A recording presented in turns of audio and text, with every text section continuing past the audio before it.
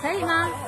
嗯，可以，可以，OK 啊，好好，加油！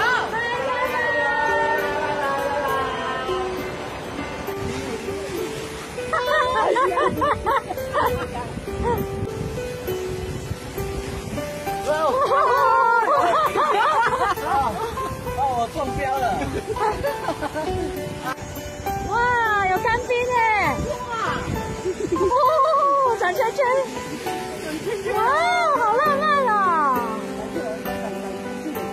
哈哈哈哈哈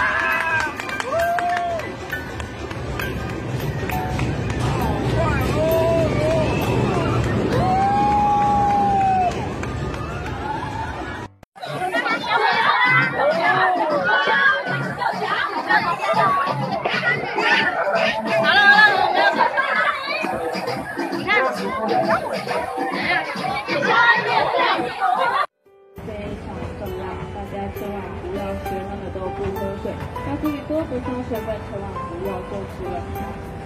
那美洲野牛在十九世纪前多达六千多万头，因为身上有着非常多的丰富的牛大量在十九世纪末只剩下两千多头，像那时候就被列为保护的动物了。